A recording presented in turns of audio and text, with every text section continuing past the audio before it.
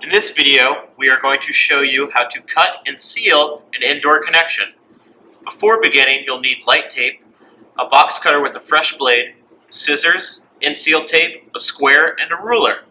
To begin, place the lamp under the square at your desired length.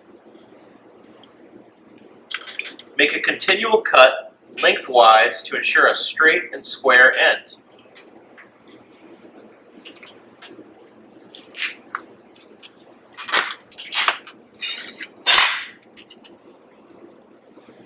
Seal the lamp, on the cut end, place enough in-seal tape to overhang the edges and to evenly fold over both sides of the lamp.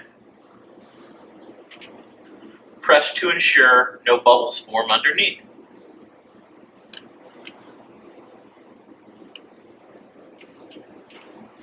Cut the excess tape from the sides.